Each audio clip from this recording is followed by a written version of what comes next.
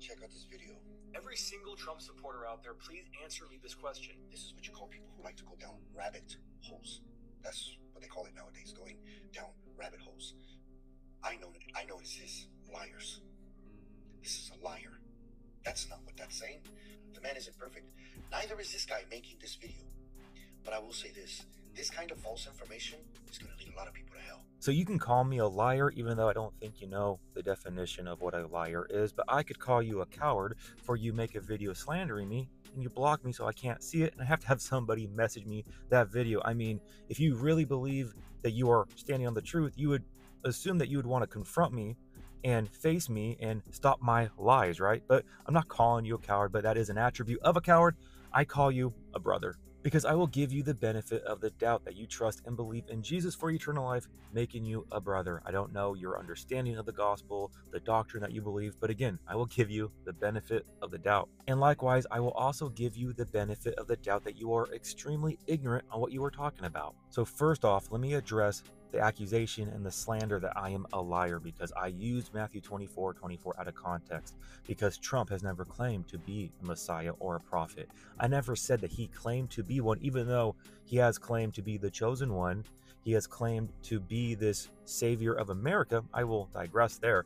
I was using Matthew 24 24 as a principle that we as believers can take that even the elect could be deceived in. Who loves this man right now?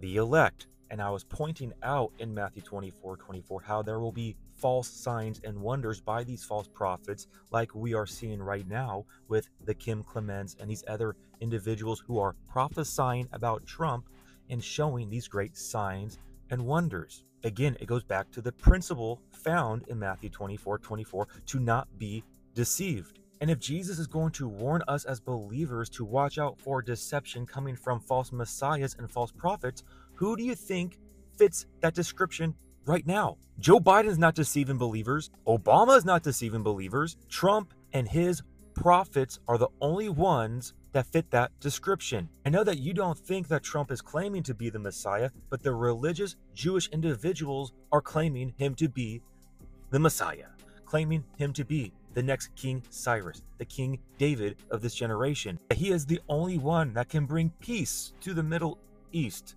with his Abraham Accords, a covenant that he could aff- affirm. Uh, uh, who does that in Daniel 9:27? Again, it is the principle found in Matthew 24 24 to not be deceived. And my duty as a watcher, as a soldier of God, as a shepherd, is to guard God's flock from deception coming from this demonic world that we live in right now. Because I feel like Christians forget how this world is still under dominion from Satan, the prince of the power of the air, who disguises himself as an angel of light. And that is my belief. My understanding is that Trump is a false light to deceive Christians. But you think me trying to guard God's flock from deception is leading people to hell? Wait, so you think what somebody believes Trump to be will then lead them to hell? What does it have anything to do with heaven or hell? Heaven or hell depends on your faith and trust and belief in Jesus Christ for eternal life and being born again it has nothing to do with your political views and if you trust in Trump or not. But this is why I am disgusted as a believer to see the idolatry going on right now for this man. You, brother, are not following the commandment that Jesus has left us to be wise as a serpent and then innocent and gentle as a dove. Because what I see right now with Christians falling for the Trump deception is that they are not listening to the warning of 1 John 2 15 to not love this world nor the things in this world.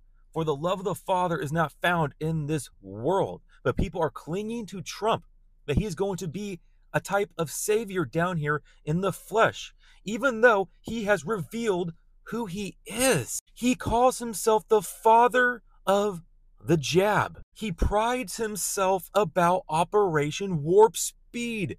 Come on, brother. What does Revelation chapter 18 say about the whole world being deceived by pharmakeia? I mean, it really blows my mind the discernment level of some Christians to not see what's going on right now. But oh, yeah, that's right. It's because I go down rabbit holes trying to find God's wisdom and knowledge, searching and seeking. But that's a bad thing. We should stay on the surface level and really just trust trust what, you know, these politicians, these actors. Trump is literally an actor, by the way. WWE, The Apprentice, a multi-millionaire, billionaire actor. Now just trust him on the surface level. Don't go down rabbit holes searching for wisdom and truth like the Lord tells us to seek and ye shall find. Nah, nah, nah. I'm the liar. Oh, but before I carry on, because I can feel myself getting worked up, I had to pray big time on this, and I went to Colossians chapter 3, verse 12. Therefore, as the elect of God, holy and beloved, put on tender mercies, kindness, humility, meekness, long suffering, bearing with one another, and forgiving one another. I forgive you, brother, for calling me a liar. If anyone has a complaint against another, even as Christ forgave you, so you must do also. I forgive you. But above all these things, put on love, and I love you, which is the bond of perfection. And let the peace of God rule in your hearts, to which also you were called in one body, and be thankful. Oh, I needed God's word right there to calm me down, to allow his peace to surpass all understanding, because I I, really get worked up when individuals cannot see the deception going on right now. Oh, but Matt, Trump talks about Jesus and Christian values. No, duh. That's how deception works. They deceive by lies. Right now, what you are witnessing is a false light bringing in all the world religions. If you just watched the Republican National Convention, you will see what I'm talking about. They are going to usher in this false light, false world religion, how we are all one. We all worship the same God. Trump claims Jesus just to get your vote and to get your trust. He is part of the club that you are not invited to. Now, I will give him the benefit of the doubt because I do think he is a funny guy. I think he is the best character there is on this world stage. But at the end of the day, it is all controlled. This world system is controlled. And I'm getting sick and tired of hearing people say that, oh, God protected Trump on that stage. Oh, I guess he didn't protect the guy behind him. Screw that guy, right? But good thing that God protected Trump. Yes, God's providence is always there. He allows things to unfold. But to then claim that God put his finger there, protected Trump, but did not protect that guy behind him shows partiality. And I truly believe what we are witnessing right now is unbelievably spiritual in nature. And what happened at that rally was extremely spiritual indeed. And that's why it seemed all so odd and strange. To claim that Trump is God's anointed and that he is a true Christian and he's going to usher in this great revival shows that you are ignorant of what's going on behind the scenes, who truly controls this world system. Yes, God is sovereign, but he's allowing this because if you understand eschatology, you will see the setup for the beast system, for the Antichrist to come with a false peace, who will sign a treaty with Israel and his enemies or her enemies to provide this false peace.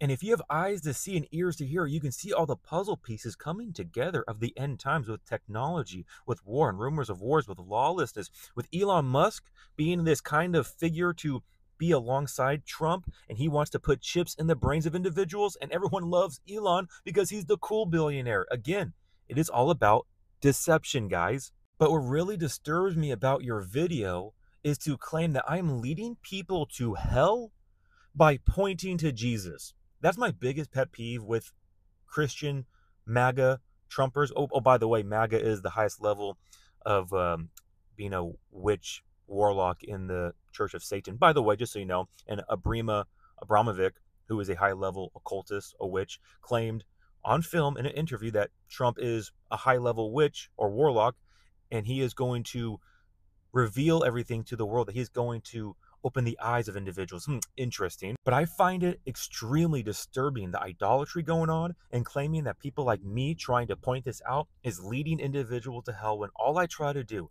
is point people to Jesus, to focus your eyes upon Jesus, for he's the author and the perfecter of your faith, Hebrews 12, 2, and that we, as the justified in Jesus, live by our faith, trusting in him, not a politician, but somehow I am the deceived one. I am the bad one anyone wants to go live and talk about this, let's do it. You have 1.2 million people. If you want to slander me, let's go live and talk like grown men, like brothers in Christ. But either way, I love you. God bless. And remember, the just shall live by faith.